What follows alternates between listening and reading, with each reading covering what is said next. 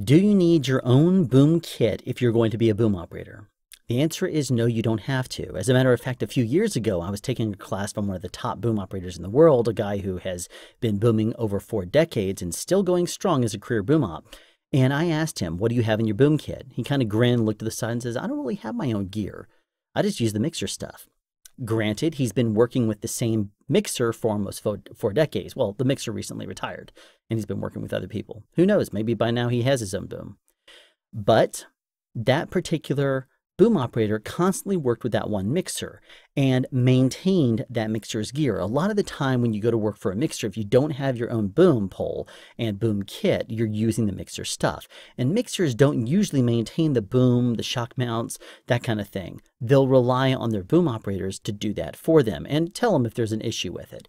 But that's not always the case if a boom operator has their own stuff and they bring their own stuff it's going to age on the truck and maybe need some tlc before you're going to be using it now if you use a boom operator uh, if you use a boom from a sound mixer it is going to be covered by your production insurance. It's going to be part of their, their sound package that they're providing to production. You don't have to pay for the maintenance of it at all.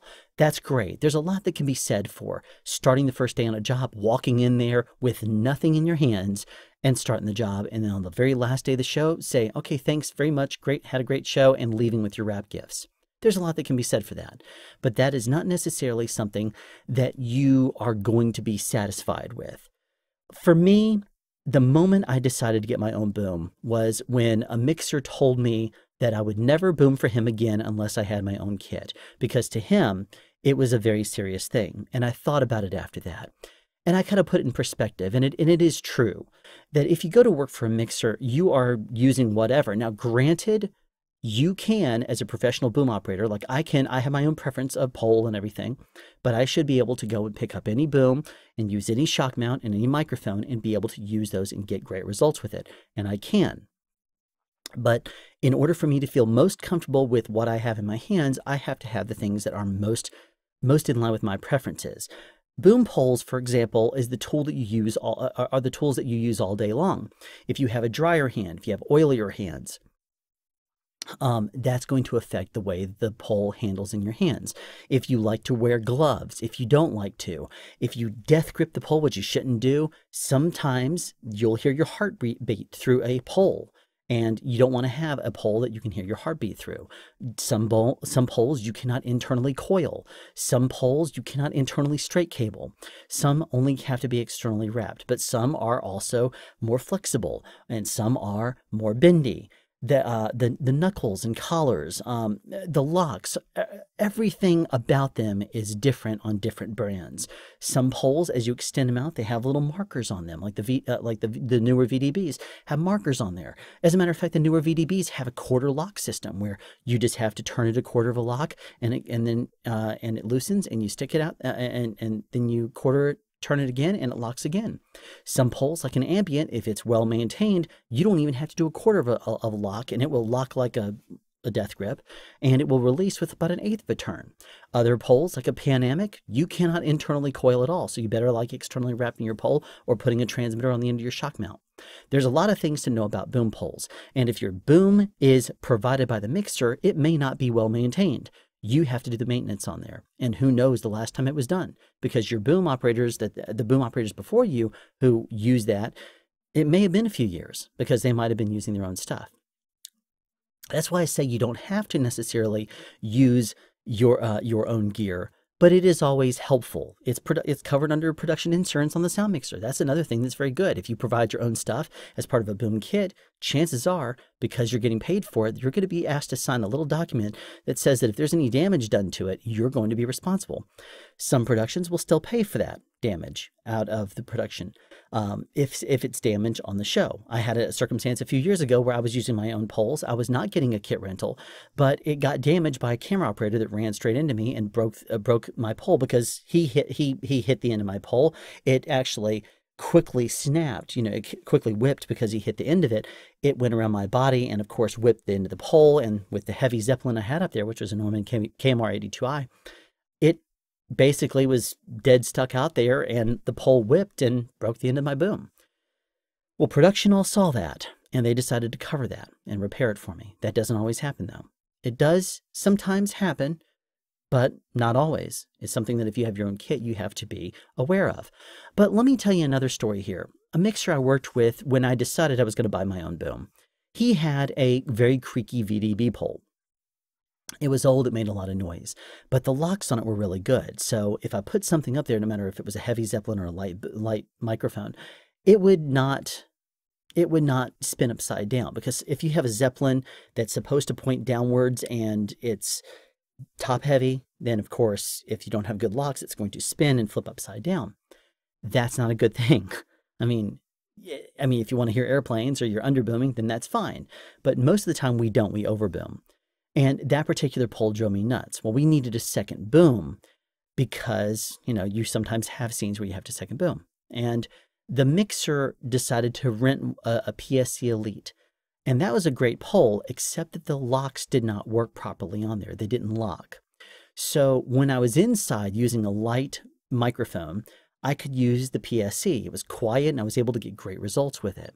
When we went outside though, and if I put a Zeppelin on that, no matter how much I cranked that thing down, which I didn't want to have to do, it did not lock properly and the microphone would flip straight up in the sky. So I had to use the VDB outside and deal with the creakiness. That mixer though was very quick to point out anytime that microphone creaked. And I did not like that. I was driven nuts by it. So I decided to buy my own gear. That in combination with the other story I told you those two things happened back to back. And it kind of gave me uh, an indication that I needed to get my own gear. I needed to do that in order for me to take my job seriously as a boom op. Let me tell you this. I'll put it to you this way, rather. If you were hiring a handyman to build a deck on the back of your house, and you have two people coming in there, and one guy shows up and he says, Okay, I can do it for this amount of money. By the way, do you have a table saw? Do you have a hammer? You have uh, you know, maybe a you know screwdriver set and that kind of thing. Okay, great. And then another guy shows up, same exact price, but says, "Oh no, no, no! I have all my own tools. I'll I'll make it with the tools I have." Who are you more likely going to take if everything else is equal? Who are you going to take more seriously? Probably the guy with his own gear. Not not because that particular person is more professional, not because that person has more skills, but because they bring their own tools and because they are going to have the pro stuff they need to do their job. And you're going to most likely trust that person to know their tools better. Same thing with a boom operator. I can certainly use any gear that's put in my hands, but the stuff that's in my hands that I like, that I that I bought because it fits well in my hands and I handle it well and I like it the best, that's the stuff that's going to give me most likely the best results personally at least, and it will give you the most satisfaction about working. If, like, for, I'll tell you another quick story. A lot of stories today. A few years ago, I was working with a mixer, and I had already pre got pre-approved to start another show. That show pushed a couple weeks, and I was able to basically not do. I, I was going. I, I agreed to do a certain amount of the show, but um, I actually ended up staying until the just before the last week of the show, uh, and and then I had to bail because the mixer knew hiring me up front that I was going to have to start this other show. But the boom operator that he had hired to fill in for me that last week did not have a pole, so he said, "Do you have a pole that he could use?" I said, "Sure," you know, because the mixer didn't have one, and um, so I provided one. And Within the first few hours, that boom operator was driven nuts because he is used to very light poles, and the only one they had was a very heavy pole, which is the brand that I like. It's heavier, it's stiffer, it's it's more responsive, at least to me. You know, it's my preference. But to him, it was not what he needed. He, he needed a different type of pole. But and, and, and it was that point when he was like, I'm just gonna have to buy my own. This is driving me nuts. I can't use this pole. That does happen you have to have your own gear in order to know what you expect every single day on a show. So, what goes into a boom kit? Well, the very minimum boom kit you need is a boom pole and set of headphones. I mean, really, I mean, technically just a boom, but you ought to at least have a boom that uh, and some headphones. That's a minimum of what I usually consider to be a boom kit. Now, Ideally, you would have a couple of different sizes of boom. Maybe the first one you get should be about an 18, you know, 16 to 20 feet, let's say 16, 20 footer. That will most likely get you most of the stuff that you need, you know, most of the shots you need to do. But sometimes you're going to be in a small, a shorter environment and you need a smaller pole. And it's if you have a 20 foot pole, let's say, you don't have to extend it out 20 feet every single shot. You could have a shot that's only about, it's extended out seven or eight feet. And then why hold all this extra pole? It's ideal then to get your second pole that's shorter, like maybe a 10 or 12 footer. So that way you can rely on the 10 or 12 footer and use that one anytime that, that, that you don't need more than that. And then rely on the longer pole if you have to extend out longer. Now, that is personally what I recommend to people is get the big pole and then get a shorter pole. Some people have gone ahead and bought a shorter pole and said, well, I'll use the mixtures if I need a longer, uh, a longer pole. But I usually say get the one that you're going to most likely use all the time and then use the shorter one because the circumstances when you would need a, sh a shorter pole, shorter than the minimum distance of your actual boom itself, are seldom. They're fewer. I mean, you'll run into those if you're shooting on an elevator, if you're shooting in a very small room, for example, and you need to get around a light or, you know, something like that in a hall, you're doing a walk and talk, maybe um, you might need to have a, a, shorter pole just because you can't make all the turns. Um, but, you know, that's a totally different thing altogether. I'm getting ahead of myself. What I usually tell people to get, though, and, and to keep as part of their minimal boom kit are things like you need a foul weather bag. If the weather starts to go bad, if, for example, things get very cold, you might need to have a jacket that is constantly there. The bigger worry about uh, that you need to prepare for a foul weather kit with, with a foul weather kit is rain. You will most likely be in a circumstance and it's going to come down raining and production says we're not we don't have a cover set, we're not going to worry about that, we're just going to shoot in the rain. If you want to be standing out there in your clothes and getting rained on all day, more power to you. That's fine. Disregard what I'm about to say. But if you are not really liking that, then get yourself a rain jacket, get yourself some rain pants, get yourself some rain boots or shoes, something like uh, Neos are personally something that I like. Neos basically fit over your regular shoe. It's, an, it's what's called an overshoe. And you basically slide it up and it's it's got like nylon material on the outside. Um, you slide your whole foot with the shoe and everything on it into the sock, I guess you could say, almost like the boot, and then just slide your foot in there and then vel uh, not velcro it, but secure it on top of your foot, and then you know run the nylon up. The whole thing is like one big piece. Yeah, so I mean, it, it it's waterproof all the way through, and then you secure it at the top and put it inside of your uh, your waterproof pants, and you're good to go. I have worn my Neos before when I was doing a show last year, and crew parking um, had water that was about six inches deep to get to the actual uh, studio that we were shooting in. And then, for whatever crazy reason, the caterers were set up at the other side of the parking lot where it went to about eight inches deep.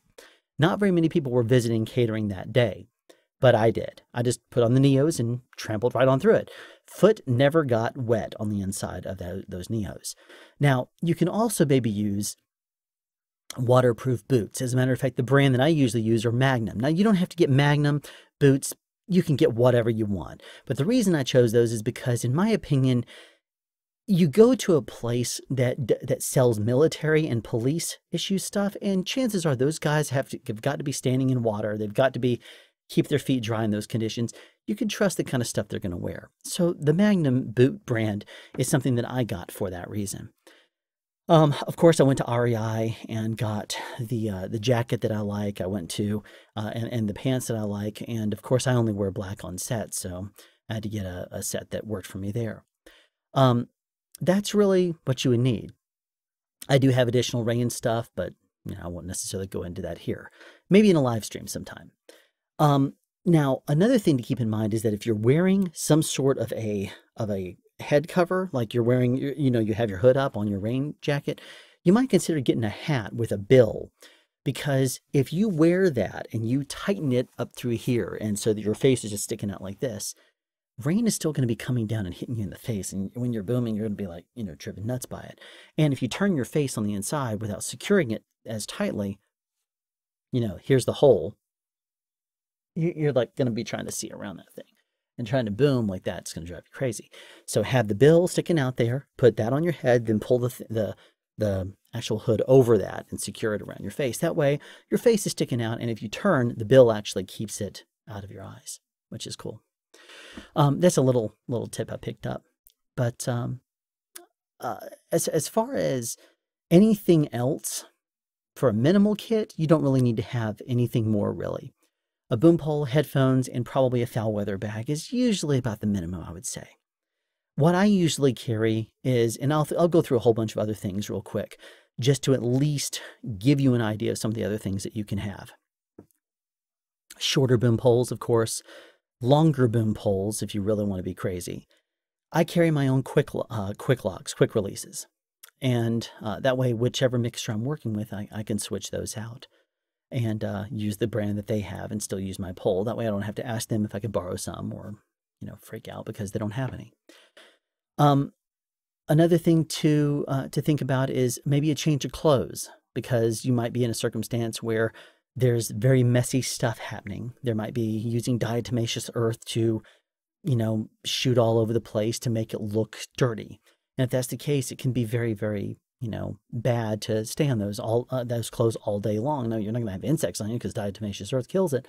But you know, you don't necessarily want to wear dusty, dirty clothes all day.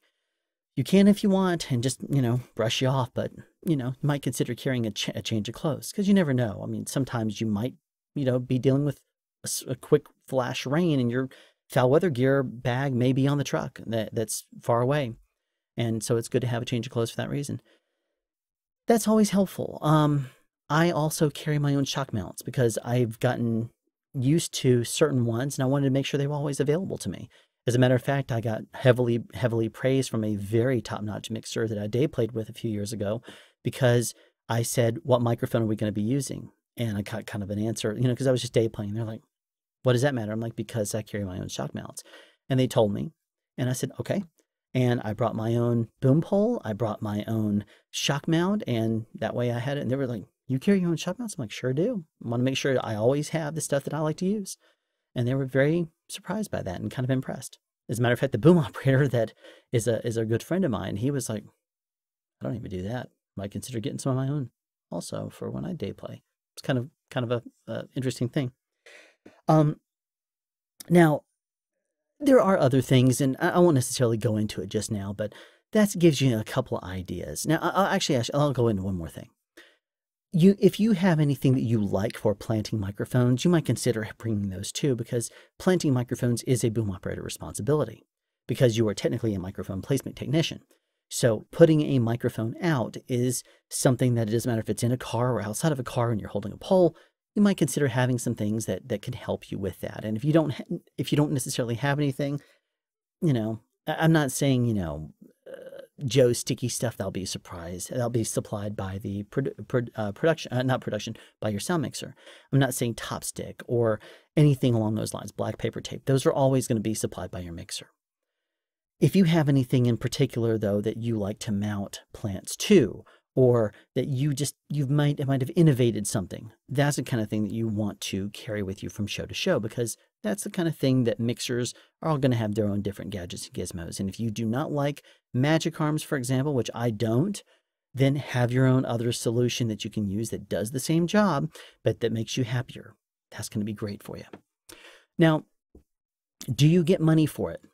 Chances are if you're in a production city and your rate starts with a letter like Y, chances are you're not going to. But in markets that do not have a high, uh, a highly negoti- a higher wage with that starts with the letter Y, for example, and those rates are the scale rates and usually double what it is in a non-production city, then you may end up being able to negotiate a kit rental.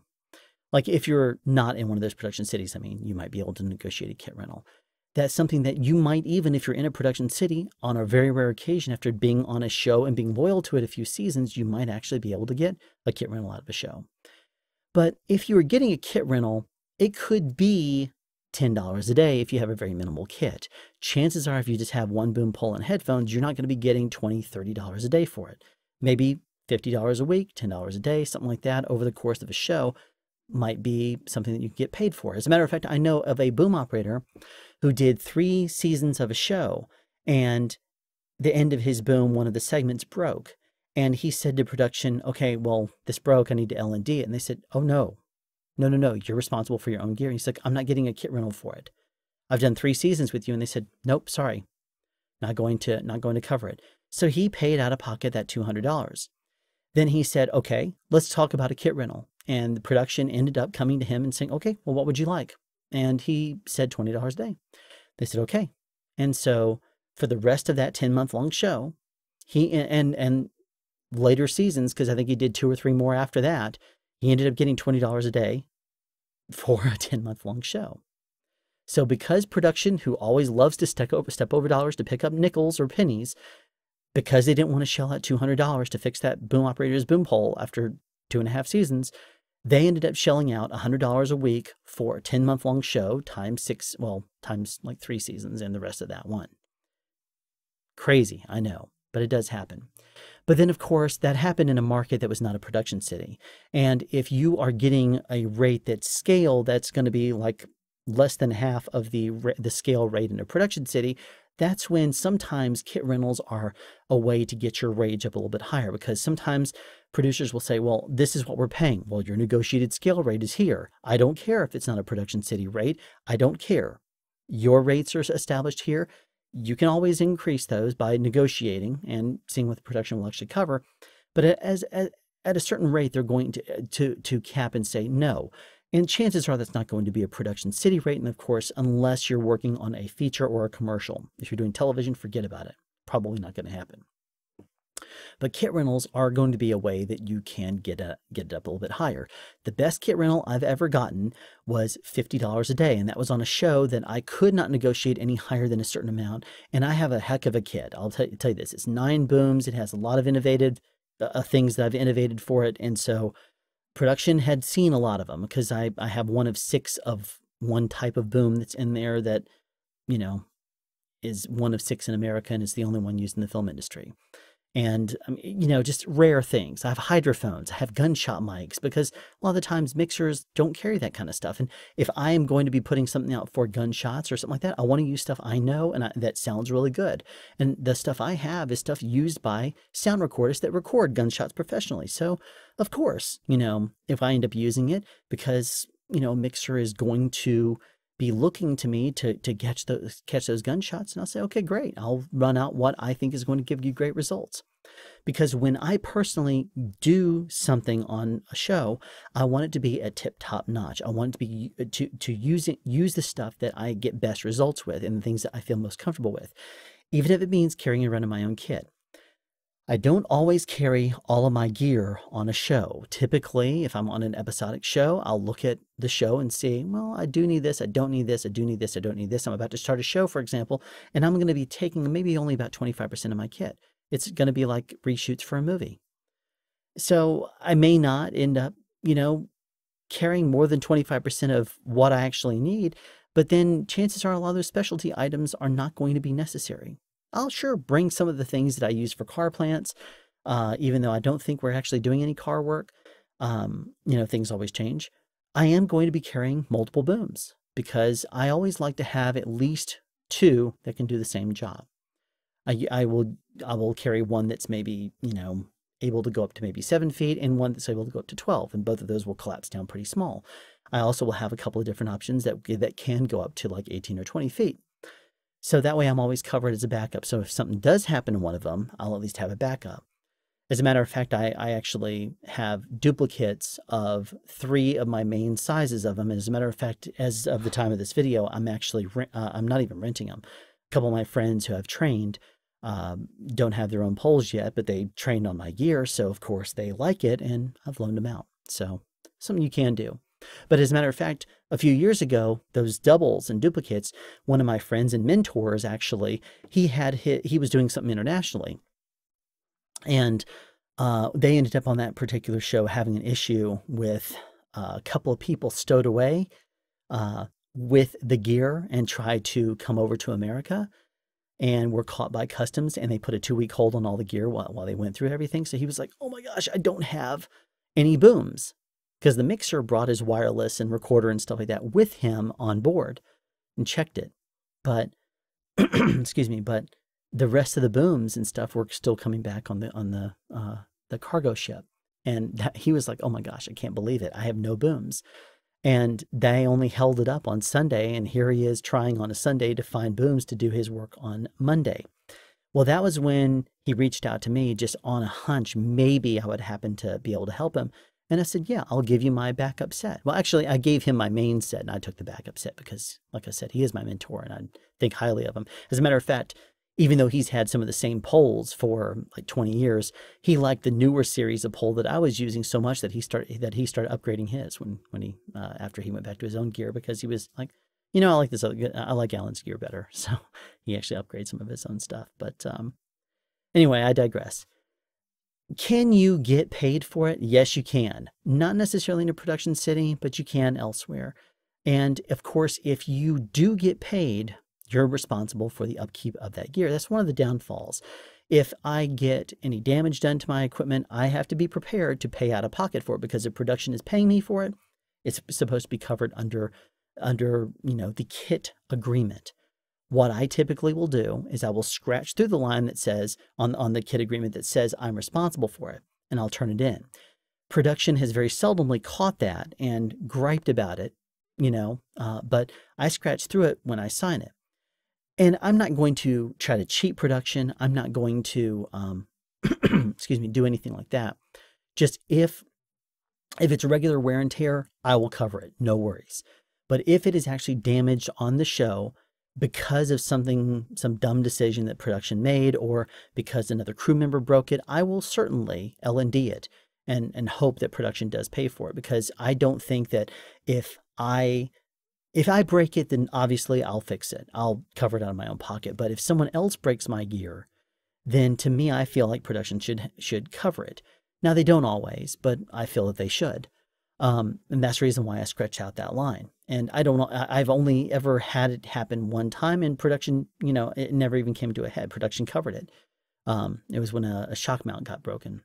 Um, and uh, they just said, well, what does it take to replace it? And so they, they did it. But that was the one time I can think of where one of my pieces of gear got broken by somebody else, and I asked them to, uh, I asked L and D it, and it was uh, not turned down. So I mean, that's production being responsible, right? Taking care of its employees. Um, now the L in the L and D, lost and damaged. Lost if something is stolen gear-wise, production will of course at that point do some sort of a, a you know insurance claim on it and say what was broken and pick up pick up the cost for it uh, or, or what was what was destroyed or what was stolen and pick up the cost for it rather.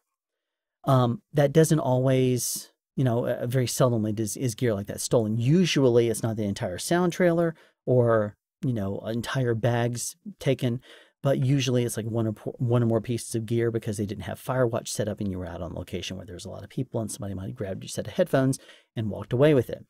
And of course, if you can, in that circumstance, L&D it, then by all means do. But you don't necessarily get a, get to get reimbursement for it because it's very difficult to prove something was lost or stolen, rather.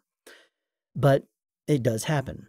Um, technically, production can say you're responsible for your the safety of your own gear and they can say that in the start paperwork just like they can say the same thing about their, the about crew parking. You're responsible for your own vehicle and then have a very unsafe parking lot and not put a security guard out there. Sure they can do that and they can say you're responsible for your own stuff. Well what are you going to do? If you want to work you got to take the risk. And i mean it doesn't make it right but production can say no i'm not responsible. I gave my disclaimer. You chose to do that you could have taken an Uber. You could have ridden on sub the subway today. Well, great. Um, but, but you know, basically what I'm saying here is if you carry your own gear, it's because of the familiarity. Uh, familiarity. It's because you like it. It's because it helps you to do your job better. It's not because you need it to actually do your job because the sound mixer is providing you with gear that you can use. But that is something that you need to at least be aware of that you are responsible for everything from the upkeep and maintenance, which you don't necessarily get paid to maintain. Uh, you don't get a wrap day that you get to, to maintain. Like not like the sound utility will be working with the sound mixer on wrap day to clean up the gear and get it ready for the next show. You don't necessarily get a wrap day. I have gotten wrap days before on shows that really like me, and they say, "Sure, we'll absolutely give you one." Sometimes, most of the time, shows that say, "No, boom operators don't get a wrap day." But sometimes I've been able to say, uh, "You've been giving me a kit rental. I've used a lot of stuff. Haven't you seen this and this and this and this and this and gone through?" it? Sometimes they may say, "Well, I've given you kit rental. You can you can maintain your own gear." It really depends on the show. It depends on the circumstances and everything, but that is at least something to be aware of. If you have your own gear, you have to maintain it. Um, and if you do not have your own gear and you use the sound mixer stuff, you have to maintain it. So have your knowledge handy and what you need to do in order to maintain that gear, and um, choose to get your own kit if you'd like to, because you know at least you'll have it from show to show to show with mi- from mixer to mixer to mixer. Have a question you'd like answered or want to add something? Be sure to write it in the comment section down below. You can also make a suggestion for future topics of discussion. Again, comment section down below, or you can email me at soundspeeds at yahoo.com. Be sure to subscribe and turn on notifications so you won't miss out on future sound advice.